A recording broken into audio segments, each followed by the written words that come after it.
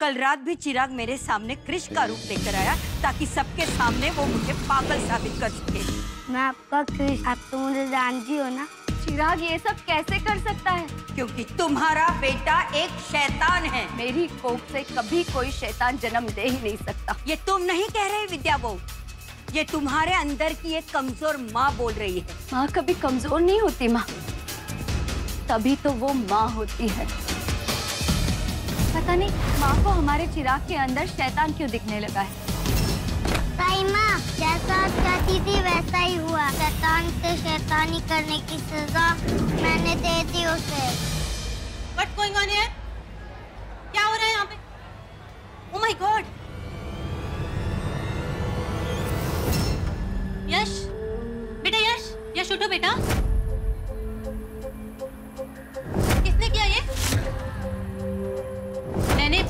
किसने किया है? क्या तुम में से किसी ने कुछ देखा?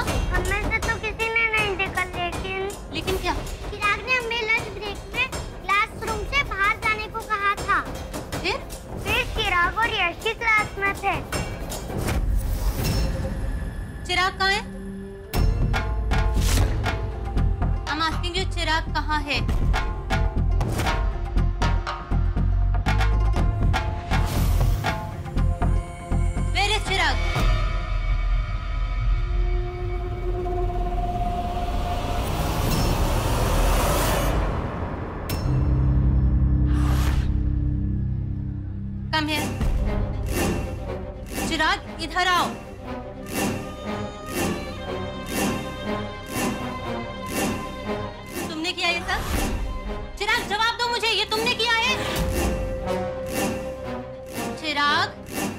तुमने किया है या नहीं? What's going on? तो सीधे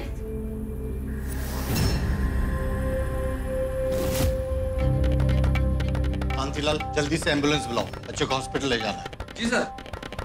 सर ऐसा लग रहा है कि चिराग ने ही यश का ये हाल किया है। आप चिराग के पेरेंट्स को फ़ोन करके तुरंत यहाँ बुलाइए। क्या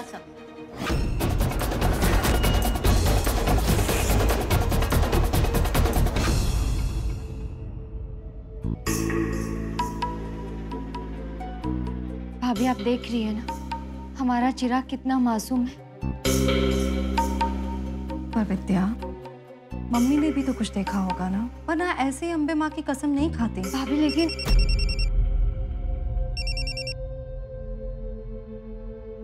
हेलो? जी? चिराग के स्कूल से?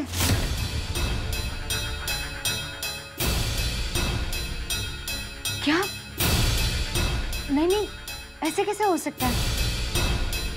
ठीक है मैं अभी आ रही हूँ। क्या हुआ विद्या? भाभी चिराग के स्कूल से फ़ोन था। मुझे अभी निकलना होगा। ऐसा क्या हुआ होगा? चलो देखते हैं चलो।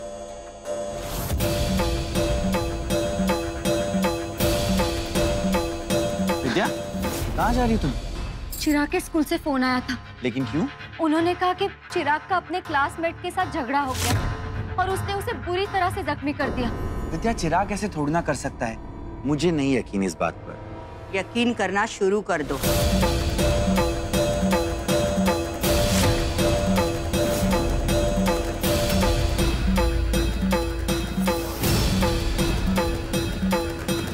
इसी में हम सबकी भलाई है। और वैसे भी ये शुरुआत है। अब देखना ये है कि शैतान आगे और क्या क्या करता है।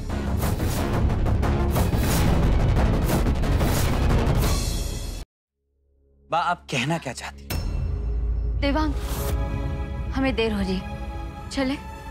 एक मिनट विद्या।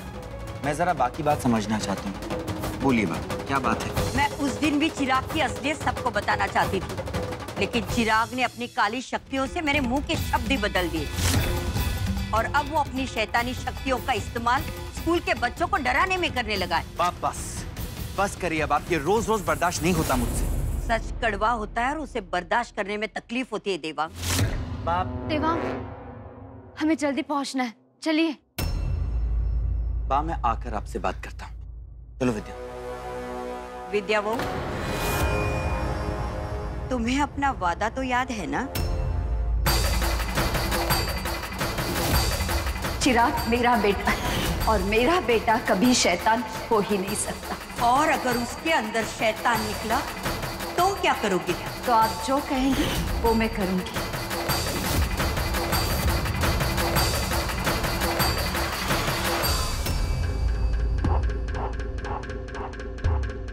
अगर मम्मी की बात सच निकली तो हमारा क्या होगा? मैं नहीं जानती क्या सच है और क्या नहीं लेकिन हाँ जो कुछ भी इस घर में हो रहा है उससे हम सबके रिश्तों में दरार पड़ रही है।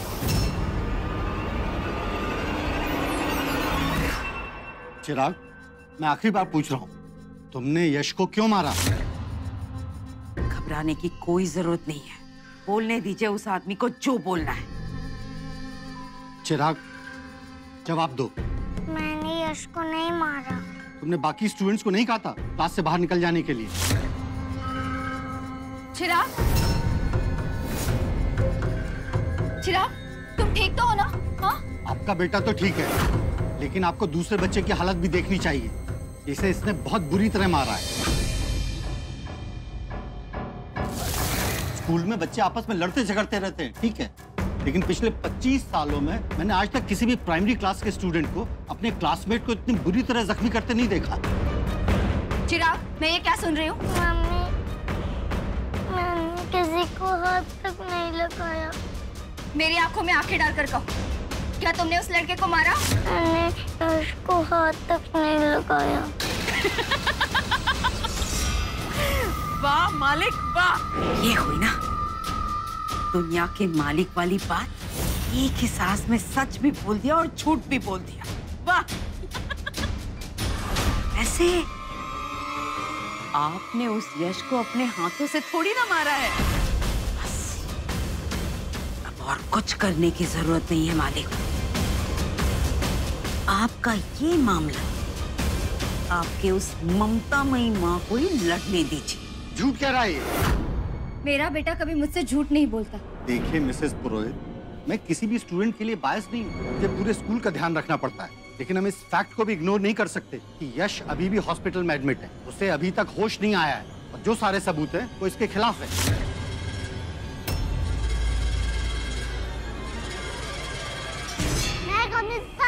You please stay outside you are not required there sorry sir मुझे सब कुछ पता था कि क्या हुआ था। क्या पता है? यश हमेशा से सबको परेशान करता रहता था। सबका टिफ़िन छीन छीन कर खाता था। अगर आपको मेरे बात पे डाउट है तो आप दोनों से पूछ सकते हो। यस सर यश ना हम सबका टिफ़िन खा लेता था। हम सबको मारता भी था। और आज यश ने मेरा भी हाथ मोड़ा था। फिर चिराग ने आकर मुझे बचाया। इसलिए यश चिराग से बदला लेना चाहता है।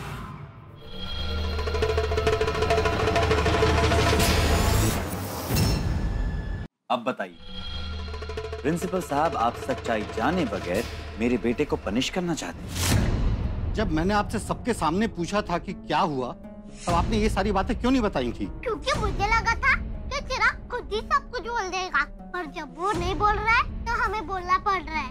Okay both of you may go now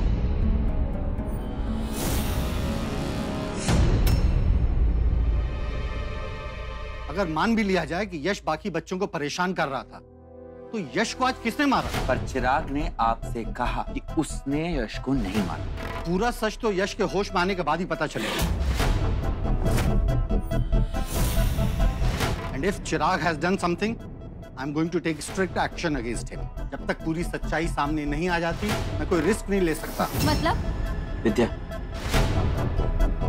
फ़िलहाल हमें घर चलकर बात करनी चाहिए। देखिए mister and missus Purohit I am sorry to से जब बच्चे बड़े हो रहे होते हैं तब उनकी परवरिश का इम्तहान अक्सर पेरेंट्स को देना पड़ता है। I hope you understand you can't help it चलो।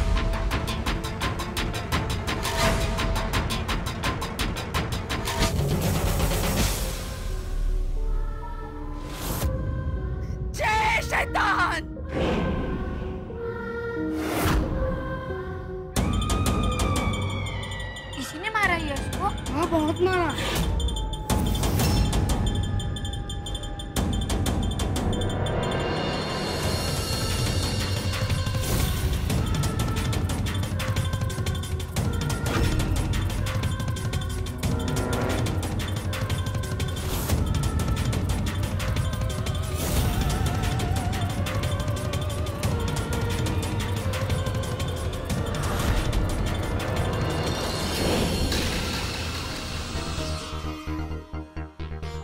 आप क्या कह रही हैं मंजुला जी? जी हाँ विद्या की बातों से तो ऐसे ही लगा। कि चिराग ने स्कूल में किसी बच्चे को बहुत बुरी तरह से मारा है। आखिर वही हो रहा है ना। जिस चीज़ का हमें डर था। अब क्या होगा यशोदन जी? चिराग के अंदर के शैतान की शक्तियाँ बढ़ती चली जा रही है। बहुत तेज़ी से। इसका मुझे अनुमान तक नहीं था। अगर यही शक्तियाँ इसी तरह बढ़ती चली गई तो आगे चल के वो किसी के साथ कुछ भी कर सकता है। अब आप ही हमें इस संकट से बचा सकते हैं। मैं तो अपनी तरफ़ से तैयारियाँ कर चुका हूँ। लेकिन इस अनुष्ठान में चिराग का होना बहुत ज़रूरी है। तभी उसके अंदर के शैतान को बाहर निकाला जा सकता है। मैं एक काम करता हूँ। मैं उसके स्कूल चला जाता हूँ। पर पर अभी विद्या का शीला वो को फ़ोन आया था कि वो लोग चिराग को स्कूल से घर लेकर आ रहे हैं। फिर तो मेरे लिए मुश्किल और भी बढ़ गई। ये पूजा आज ही करनी पड़ेगी। उस पूजा में चिराग का होना बहुत ज़रूरी है। तो फिर मेरे लिए भी पुलिस से बचे रहना। ज़्यादा समय तक संभव नहीं है। अच्छा मैं बाद में बात करता हूँ।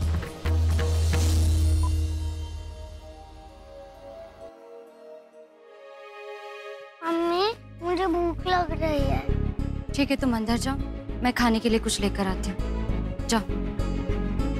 विद्या बहू आज स्कूल में क्या हुआ? विद्या बहू मैं तुमसे कुछ पूछ रही हूँ। बा प्लीज़ बच्चे के सामने हम ये बात नहीं करेंगे। वैसे भी मैं चाहकर भी इसके सामने इसके खिलाफ कुछ नहीं बोल सकती। ये मेरे शब्दों को बदल देगा।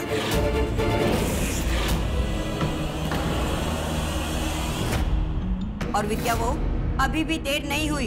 इतनी हड्डी मत बनो। इससे पहले के बात हाथ से निकल जाए हमें संभलना होगा। हाँ बेवजह चिंता कर रही चिराग ने स्कूल में किसी को कोई नुकसान नहीं पहुँचाया तो फिर स्कूल से जो फ़ोन आया था उस बच्चे के बारे में उसे चोट कैसे लगी?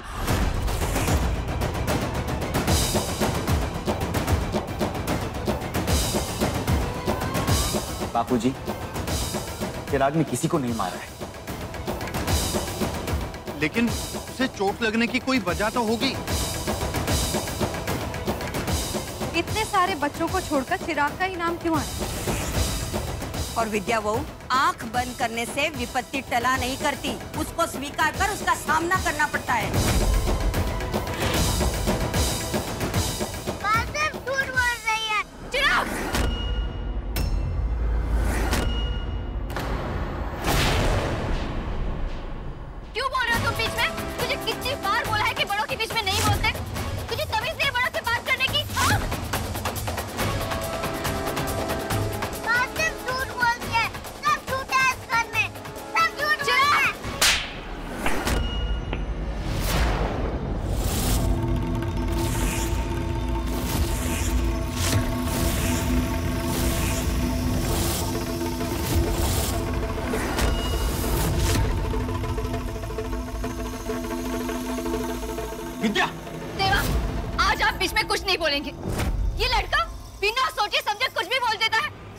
एक सजा।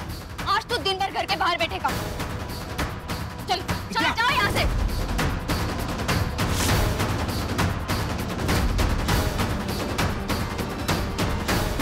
क्या कर रही हो बेटा तुम? सेवा मुझे आपकी कोई बात नहीं सुननी है। सुनो आप लोगों ने मुझे किसी की कोई बात नहीं सुननी है।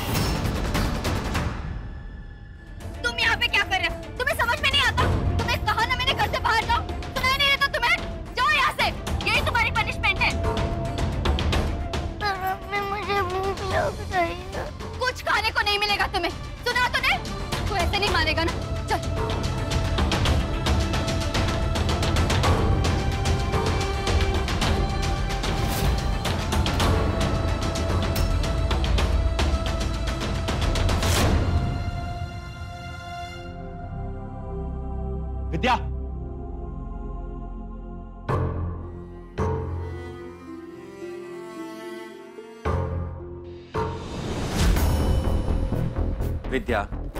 विद्या प्लीज़ शांत हो जाओ। कोई माँ कैसे शांत हो सकती है देवा? जब पूरी दुनिया उसके बच्चे के बारे में ना जाने क्या क्या बातें कर रही हो? मैं तुम्हारी बात समझता हूँ विद्या। मैं चिराग को खुद लेकर आता हूँ पर तुम शांत रहो। कोई ज़रूरत नहीं है। उसे थोड़ी देर के लिए बाहर ही रहने दीजिए। लेकिन विद्या देवा प्लीज़ मुझे इस वक्त किसी भी बारे में कोई बात नहीं करनी है। मुझे अकेला छोड़ दीजिए।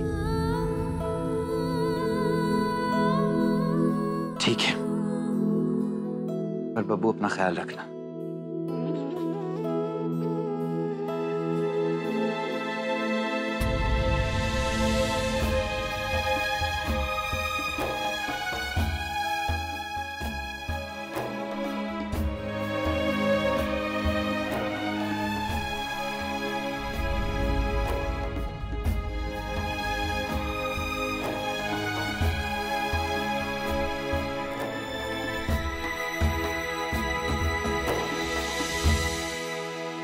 चिराग। चैम्प? अरे, मेरा चैम्प रो रहा है। रो रहा है मेरा बेटा। अच्छा देखो मैं आपके लिए क्या लेकर आया हूँ।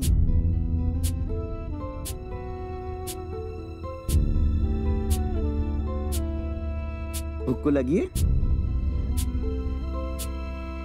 तो खा लो। और पता है हम क्या करेंगे? हम ना इसे अपना सीक्रेट बना के रखेंगे। किसी को भी नहीं बताएँगे, मम्मी को भी नहीं बताएँगे, ओके?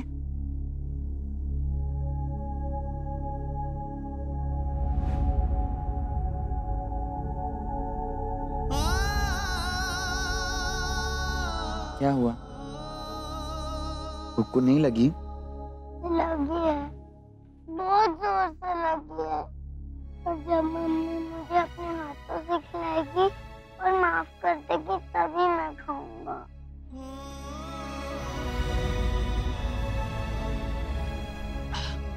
इधर आओ। पर आपको तो मम्मी ने पनिशमेंट दी फिर भी? वो तो मम्मी मुझसे प्यार करती है इसीलिए। इतना प्यार करते हो मम्मी से? हम्म, जब कोई मुझसे प्यार नहीं करता सिर्फ़ मम्मी ही मुझे प्यार करती है। I am so proud of you you my good boy आप एक काम करो। आप यहाँ पे बैठो, मैं मम्मी को लेकर आता हूँ, okay? Uh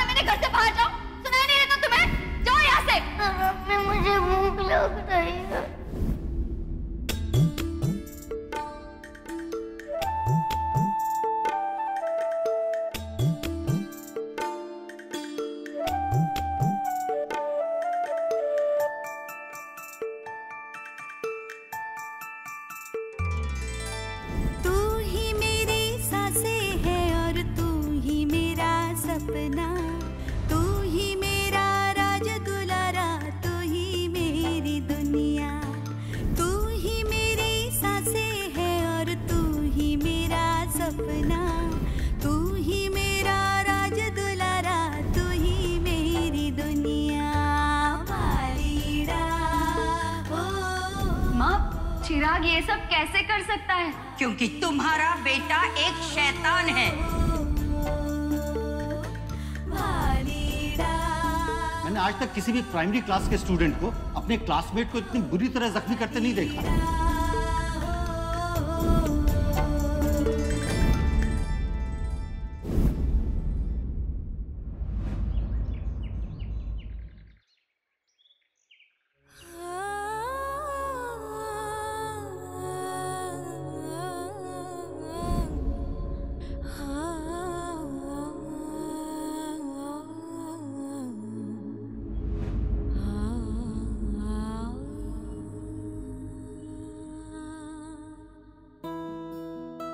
I love you mummy